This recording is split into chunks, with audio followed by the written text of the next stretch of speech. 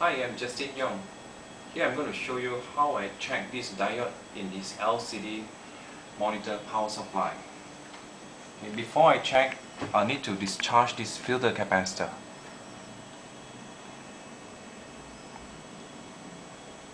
Okay, after that I need to confirm that make sure that there's no more voltage in it.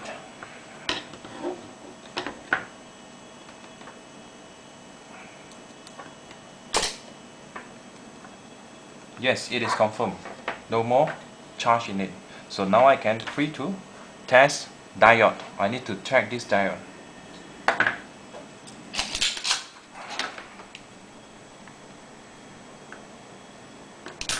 Solder the leg out at least one leg in order to perform an accurate reading. Set your meter to time 1 1 ohm.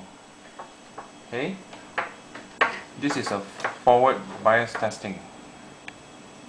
It should have reading, but reverse it shouldn't have reading. If have reading means the diode already shorted, but it's still not enough. You need to set to time 10k to do the similar test again. Make sure that there's no reading.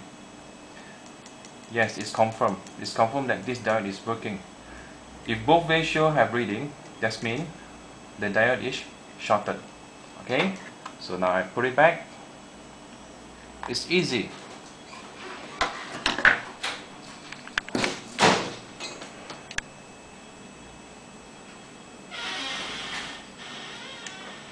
That's it. If you want to know more how to test all these electronic components, you can go to my website